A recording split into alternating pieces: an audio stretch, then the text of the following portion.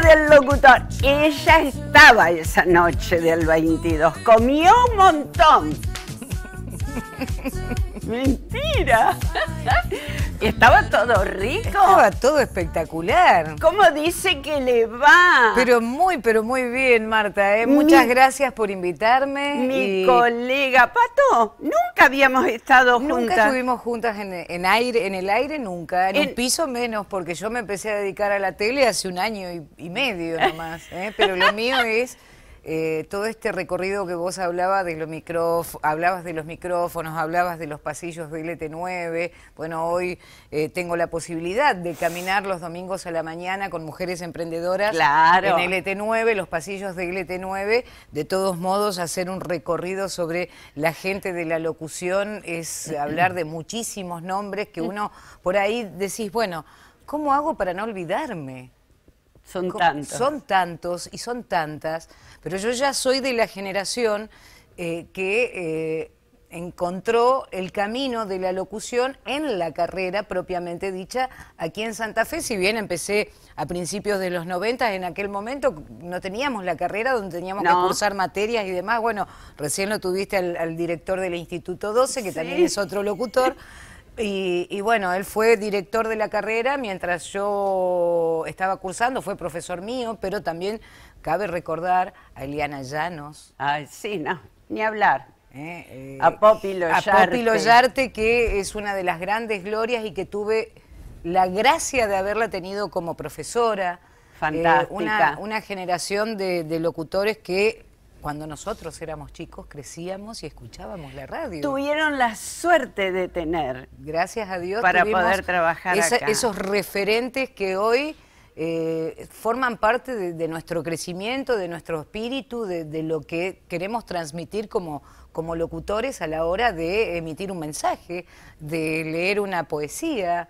¿eh? E, eso es un poco todo eh, lo que hacemos en la radio. Y además eh, yo ya también soy de la generación donde eh, tuve que ayornarme en cuestiones tecnológicas. Hoy, hoy soy operadora de radio, eh, edito videos, hago cuestiones que tienen que ver con la gráfica, grabo mis propias publicidades, me puse un pequeño estudio. Ah, que en aquel momento era imposible. ni soñado. Ni, lo soñamos, pero bueno, pudimos ayornarnos y tener las cuestiones tecnológicas a mano, ¿no?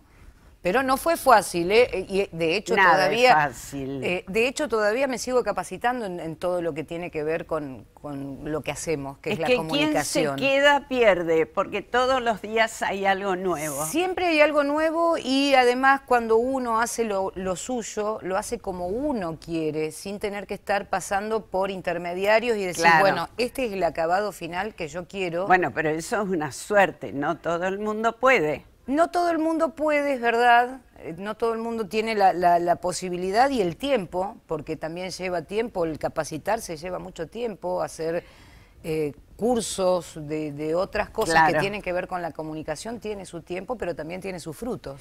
Ya que estás y que te gusta tanto como a mí, que sentís la radio, ¿aceptás que haya cámaras de televisión dentro de un estudio de, un estudio? de radio?